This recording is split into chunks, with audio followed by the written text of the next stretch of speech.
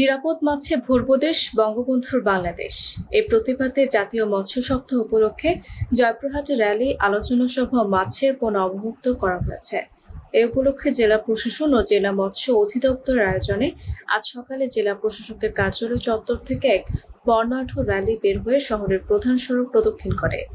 Rally শেষে সদর উপজেলা পরিষদ মিলনায়তনে জেলা প্রশাসক শরীফুল ইসলামের সভাপতিত্বে অনুষ্ঠিত আলোচনা সভায় প্রধান অতিথি হিসেবে জাতীয় সংসদের হুইপ ও কেন্দ্রীয় আওয়ামী লীগের সাংগঠনিক সম্পাদক আবু সাইদ আল মাহমুদ স্বপন ভার্চুয়ালি যুক্ত হয়ে মৎস্য সপ্তাহের উদ্বোধন করেন।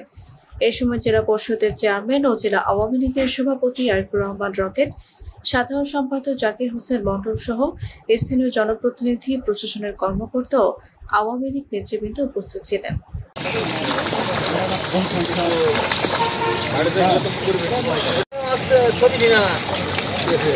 এখান থেকে সুন্দর আসতেছে।